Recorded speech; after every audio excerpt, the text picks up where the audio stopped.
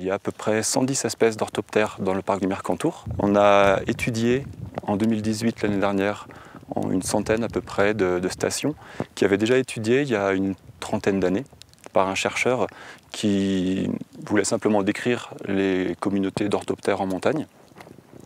Et on s'est servi de ces relevés pour euh, comparer euh, à ce qui, ce qui existe actuellement. Et ainsi, on a pu constater qu'il y avait effectivement une remontée des espèces.